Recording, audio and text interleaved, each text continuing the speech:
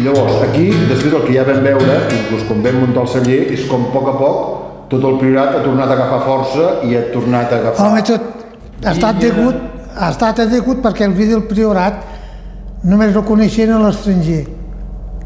I aquí servia per, pels comerciants per a vendre'l fora i per a fer licors i coses així. Perquè es venia fora ja, el vi del priorat, abans. Sí, abans, abans, abans de la guerra ja Se l'enduien se fora. Jo sentiu a dir, venien els alema d'Alemanya, venien a comprar raïms aquí. I encara els francesos també venien a comprar raïms aquí. I s'enduien el vi fet ja. I s'emportaven, el, aquí feien el vi, se l'emportaven i, i ells feien els seus negocis.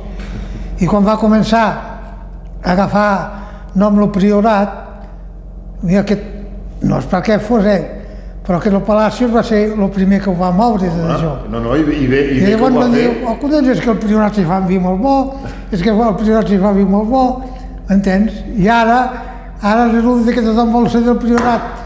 En quatre guerra que hi va haver, perquè aquí, als anys 52 o 53, anaven mal dades, però van fer denominació d'origen. Que va ser de les primeres de, de tot l'estat De- espanyol. Sí, els primers de l'estat espanyol. Ara és denominació d'origen qualificada. Ara sí. Doncs han acabat, quan va vindre això, tota la comarca del, de Falset volien que fos priorat, encara té el nom de priorat, Però, però, però, però el vi no, polític, el vi no. el vi ha de ser Montsant o posar-li com vulgueu. Ja van patullar, ja. Inclús van escriure una carta de Madrid, quan era la cooperativa, dient si el priorat, perquè llavors se, se tornava a perdre, perquè no comprava, Ningú. Lo, lo, bueno, no comprava ningú barat, i dient que com que el priorat estava mort, però no donéssim el nom perquè els altres se guanyessin la vida. Oh, I, i quasi tots els pobles, els nou pobles aquests, vam contestar el mateix. Que quan ens moriríem ja ens clavaríem la creu nosaltres, que no volia que ens la crevessin nosaltres. I veus, sí que s'han donat el nom, i han patullat els de Falset ja, però no han aconseguit. Van fer això, van fer la comarca del Priorat, mira, entre el Pujol, els vells, s'ho van empantanegar, però aquí va vindre un dels que era de la Generalitat i li van fotre una xiulada perquè va dir tant si us agrada com si no us agrada, el priorat és tot de la comarca de Falset. S'ho van inventar ells. Perquè la comarca de Proves I en canvi, la, la DO Priorat són els pobles que des de fa molts i molts anys tenen la vinya. són els pobles que eren del prior d'Escaladell. Del Prior I d'Escalador. són els que han Cullent. Perquè per a fer la dominació d'origen van vindre un geòleg, no sé, no, això que és de Madrid, per a veure i va dir sí, però ha de ser tota aquesta comarca que només és Llicullent. O molt, molt, ja com Bocí que no és. Però- Però, cap a Falset ja no és Llicullent. El 80% és Llicorell, exacte, exacte. Sí, sí, és de És les que poques DOs que hi ha ha de ser- espanyol que la, les fronteres les marca realment el fet de la, de la morfologia del És terra. que, és que el bo vi del priorat ho fa el Llicullent. Això mateix a vegades que m'ho miro. Mira, de l'altra queda punta. Fins baix al riu tot és perdut així, és de que sos del Buixó.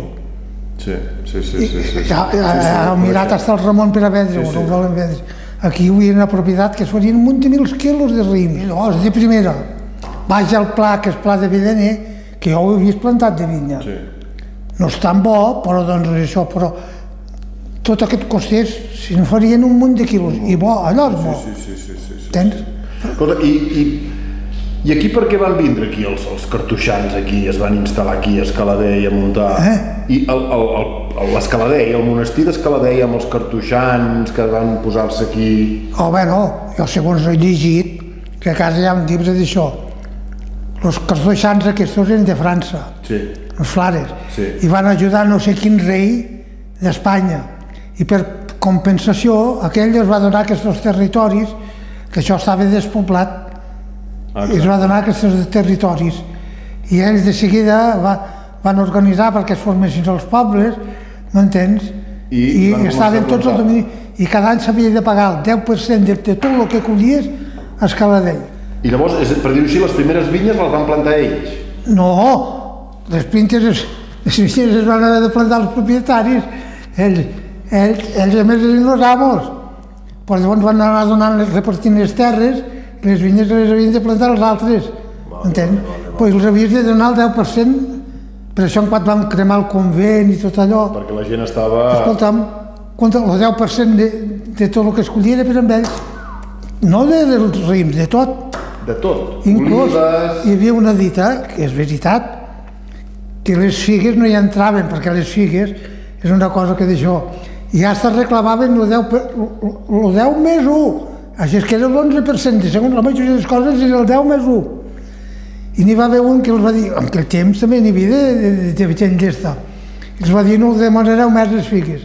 I va esperar el dia que plogués, i va omplir sacs de figues, les va posar l'animal. Diu, què es porta les figues? I esclar, va treure un podrissot, però anar a les figues, Tot, volien el 10%. el 10%. I segons què, era el 10 més 1. Per això es van, quan els pobles se van enfadar, I quan, quan els van van, treure, va, va, van treure, perquè els van treure, quan els van treure per això, els van, els van fotre foc allà al... perquè eren uns explotadors. És a dir, que tu, tota la teva vida has vist vinya i vi aquí. Sí. Aquest ha estat sempre... En acabat, això té, té evolucions. En quant té la guerra, va vindre que els avenants eren molt cares, i les melles també. I la gent se van dedicar a treure vinya i a posar, i ja també, A plantar però a, a posar avellaners i ametllers. Però jo deia, jo cada any per per no, quan plantava aquí dalt els ullastres, Sí? llavors em veia que em deien, el preu que val vi encara tens un mort. Dic, però és que no planto, però cobrava un guany ni l'any que ve ni l'altre. Veus? I, i allò té ja 60 anys, i és jove, té 60 anys. I tu què deies? Jo planto perquè estimo la vinya. Ja contra el de la Salanca també. Jo plantava ametllers i vilaners, però la vinya la guardava també. N'hi va haver que van plantar, n'hi va haver en quant altres vegades arrencar els vilaners i plantar ceps. I per què la guardaves, la vinya, Joan? Cony, perquè jo sempre vaig dir, cada cosa al passo que li va bé. I els vilaners, amb 55 passos, no van bé. N'hi va haver, se'n van plantant tot arreu. I en quant no van collir mai res. Entens? Sí, I bé, a Bellers, a l'Eslanca, també vaig posar passos que eren de granatge, i la granatge no treballava. Vaig treure els ceps de granatge i vaig posar ametllers o velleners. Però passos que treballava no ho vaig tocar mai. Però ves, que tenen més de 100 anys encara hi.